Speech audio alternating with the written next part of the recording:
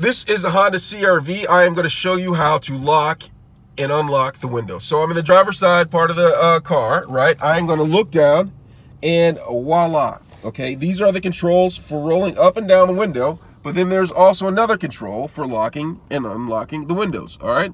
So you see this button right here?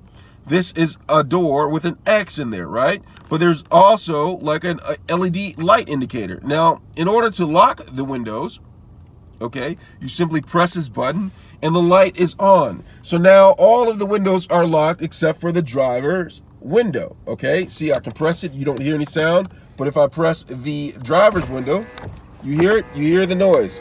That is, the driver's window is not locked, okay? So that's how the, all the windows are locked. In order to unlock them, you just simply go back to this right here and press it until the light indicator is off. And now all of the windows are unlocked and you can roll up and down the windows freely and so can the passengers. Let me know if you have any questions. Thanks a lot for watching.